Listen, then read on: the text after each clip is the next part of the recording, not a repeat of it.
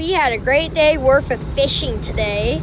We fished for about eight hours. Well, you fished, uh, well, from 10, 11, 12, 1, 2, 3, 5 hours. For about five hours of fishing. Really good to hear about that.